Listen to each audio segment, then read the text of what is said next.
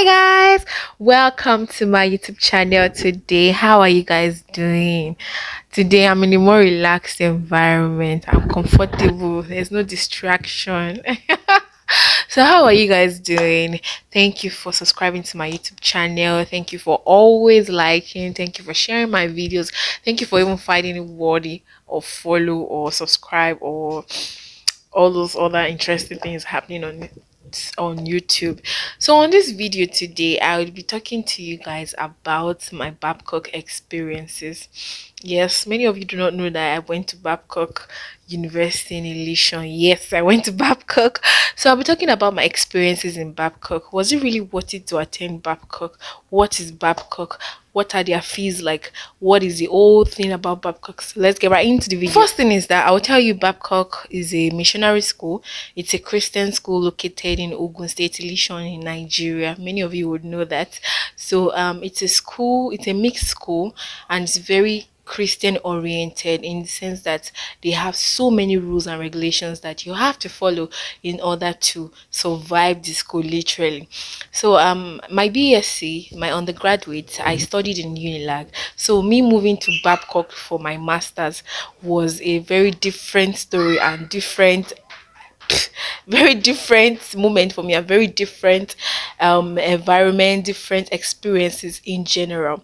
So um when i'm when i finished from unilag and i moved to babcock for my exam for my mba it was pretty easy unlike unilag where i had to write several exams and all. So um it was in late 2020 i think in october 2020 i saw the application so to babcock and i applied to the school.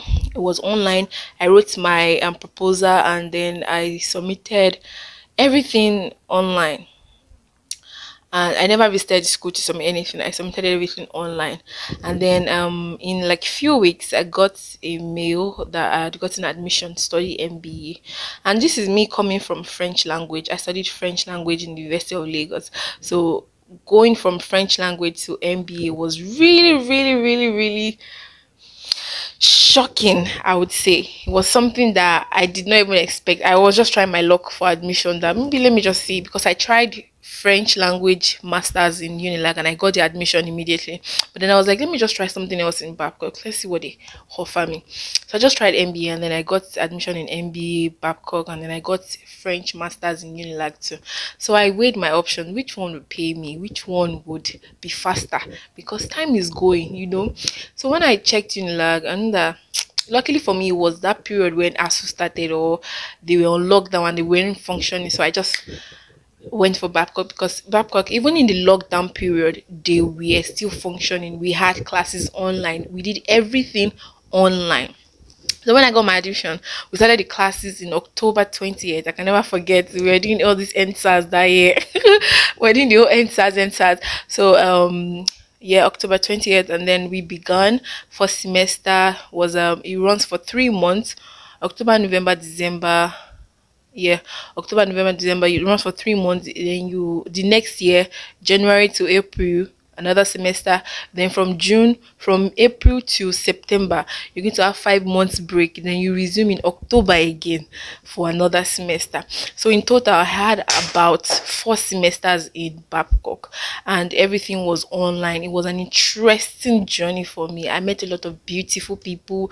I met a lot of pleasant lecturers Christian God fearing, you know, he dragged me closer to God because any small thing in his chapel, when we're having classes, we always pray and read the Bible before classes. Like when we start, when you open your computer, the first thing they will do is probably call you to pray.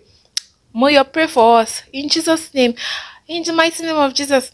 So the next, if if you if you pray, another person can be called upon to read a Bible verse. Okay, read chapter this one of chapter that one, and then the lecturer will preach before we start our classes. So it was like a way to draw you closer to Christ if you're a Christian and you want such environment.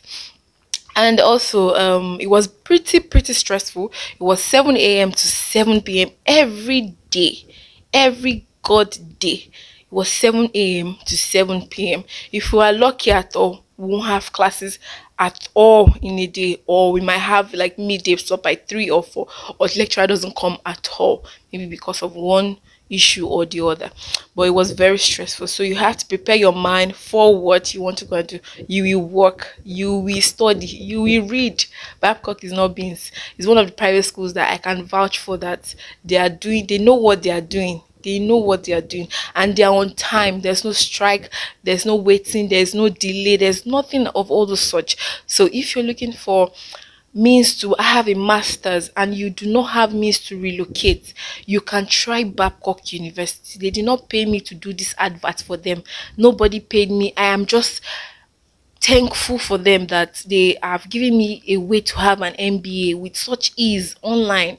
I did all my MBA online the only time I visited Babcock was when I wanted to write examination. So we would go to the school for like two weeks, spend two weeks there, and then write the exam for a week, and then you go back home for holidays, and then you resume back online, take your courses online, go to the school for the exam, and then resume back online again for the next semester. So I'm just very glad that I came through them. I don't know nobody told me about it. I just tried my luck that 2020 and then i got the admission. So if you're looking if you can spend the money uh, we paid about 378,000 four times. So you can divide your school fees into four times. So we paid 378 first semester, second semester, third semester, and fourth semester. So if you're looking, if you have the money you are earning, you can afford it, your parents can afford it. I think you should go for it if you're trying your luck with masters in abroad and you're not getting it and time is running on your side. So if you want to take your masters easily, fast, and you're in Lagos or you're in anywhere around Nigeria, I think I recommend that you go for Babcock University if you do not have time to travel. Also, people that are working had classmates that were working and they were doing MBA with like we, we that weren't working. So it was easy if they group us together, you know, you know this person is working, they will just pay for the assignments, you know, printing out, scanning and all those things. And sometimes when you schedule meeting with them, they'll have to join you, you know, sometimes they will not be in, they will not be able to join the class. They would um join online like while driving. Lecturers are so nice, they tell you you are driving, please don't press your phone. Whenever you're free, join later. It was just very sweet and it was very it was a very blessed journey. Me, I really appreciate the fact that I came across that school. Honestly, whatever I see, whatever I see that is good, me, I need to appreciate it. It's a very good school. Everybody needs to know about it. So if you are working in Nigeria and you want to have your masters, you can try Babcock University. You can try regular module. You can try um um what's the other module? You can try regular module you can try elongated module. Those are the two modules they have. Regular module is for people that are not working and um, elongated is for people that have a job. So that one usually takes like more than the regular years like probably you're supposed to finish your master's in two years you might finish in two and a half or three years. So that's for people that are working elongated module. So me i always advise that you go for regular module if you are in a hurry you want to finish and move to Canada or you want to apply for um, express entry and you need to add another certification to your BSc and you do not have admission in all these federal in all these universities abroad, may I advise that you try Babcock University. There's no strike. There's um they are true to their words. You write the exam, you pass, and you collect a certification. No strike. There's no need for any extra. Voila. Another thing about Babcock is that if you are studying with them and then you get visas to travel abroad you know you can continue your study in any university in the abroad where you went to like for example if like for example me as i relocated to brazil if i find a federal university in brazil or a private university in brazil i can do my continued study brazil university allows it Babcock allows it. So you can do a continued study program. I can transfer my credit, transfer my everything from Babcock to a school, to a university here that I registered and got an admission to here in Brazil. I have a friend that also did it. It's in another department. I would like not expose him or her. So um they, they went to Poland and then the school they went in Poland they transferred credit. This one is even undergraduate, transferred credit from um, Babcock to a university in Poland. Advice that which is very reasonable and very smart of the school. So also when you come for the exam in um, the school premises, you pay 1000 per day in the hostel where you're going to be staying. If you don't want to stay outside the hostel, you want to stay inside the hostel, you pay 1000 per day in the hostel and then um say like one week the exam is usually one week so you pay like 5000 or 7000 per day depending if you want to stay saturday sunday extra. So um you pay 1000 per day to the bank and then you feed yourself, no cooking in the hostel. You have to buy food outside. For postgraduates, we were allowed to go outside of the school. So we and like myself and my classmates would drive to we drive around Ilishan to find places where we can buy food and eat. So that that was a very very like very cool thing to do. But for undergraduates, you won't be able to do that. You're not allowed to leave the school premises. You're a boarding school student. but like we postgraduate, we weren't boarding school students. So I just want to talk about this school. I've always been wanting to talk about it. Like my Babcock experience, it was very, very peaceful.